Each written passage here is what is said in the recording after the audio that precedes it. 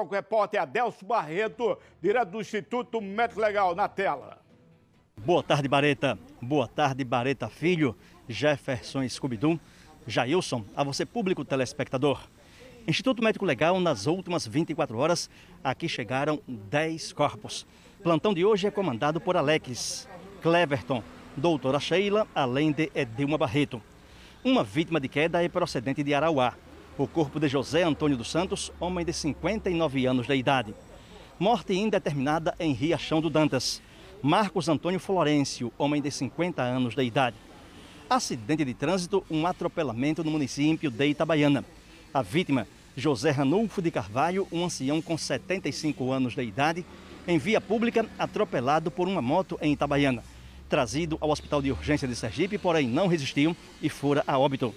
Acidente de trânsito, mais um acidente motociclístico, corpo procedente do município de Boquim. José Luciano Silva de Jesus, 31 anos de idade. Detalhe é que ele transitava na garupa de uma moto, perdeu o equilíbrio e caiu numa ribanceira. Teve morte trágica. Instituto Médico Legal também registrou uma vítima de afogamento. O corpo é procedente de Tobias Barreto. Edson de Jesus Araújo, apenas 26 anos de idade. Edson entrou na Lagoa Azul em Tobias Barreto para se banhar. Morreu afogado. Houve a necessidade da presença do Corpo de Bombeiros para fazer o resgate do corpo. Houve também um confronto no município de Salgado. Confronto envolvendo a polícia e dois homens. Numa operação envolvendo as polícias civil e militar, houve o confronto no município de Salgado.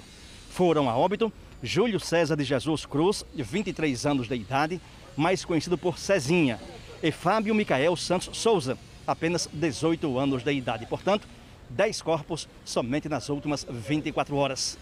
Adelson Barreto para o Tolerância Zero. Isso aí, a violência não para tanto na capital quanto no interior. Quando houver essa impunidade, rapaz, desse país, um país de impunidade total, em todos os seus sentidos, as vítimas é o, é o cidadão, sempre o cidadão de bem. Quando um bandido vai embora para o capeta mais cedo, tudo bem, ele procurou e achou. Agora, quando um homem de bem, uma senhora, um senhor de bem, perde a vida na mão de um bandido que não vale um conto, problema é esse. Então nós vivemos num país de impunidade, quando a gente vê pessoas nas portas de hospitais.